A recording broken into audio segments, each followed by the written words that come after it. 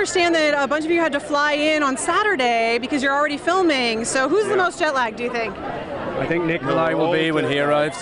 Nikolaj just arrived now, I think. Oh yeah, I mean, I'm I'm in the middle of shoot, shooting so much that I'm actually wearing a fake beard.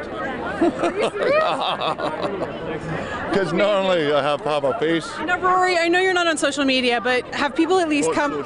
I know, but what has been the reaction to you coming back? Obviously, people have, would have come up to you and Yeah, they're, they're doing the thank God, thank God, and it's and it's it's great now. I can stop lying now because I've just been going, I'm dead, all right, go away. But now I can I can start telling the truth now, so that's good. Yeah, and it's great to be back now. It's fantastic. What's it been like having him back on the cast? I know there's a, another McCann on the uh, that works on the show. I believe. His sister, yeah, Yeah. is, uh, is works in wardrobe. It's great to have him back, but I haven't actually done any work yet.